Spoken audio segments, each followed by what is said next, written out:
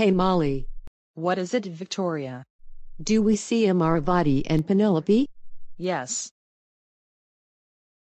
Do we see Amaravati and Penelope? Hey, I told you a million times, yes.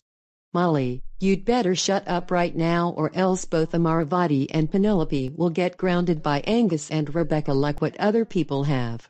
Oh yeah, Victoria, you'd better shut up right now or else both Amaravati and Penelope will get grounded by Angus and Rebecca like what other people have. Penelope and Amaravati, did Angus and I see both of you play with Molly and Victoria Peterson while grounded? Oh no. It's Rebecca and Angus. Victoria and Molly, go home right now, while Rebecca and I deal with Amaravati and Penelope. Amaravati and Penelope, how dare the two of you play with Victoria and Molly while grounded. That's it.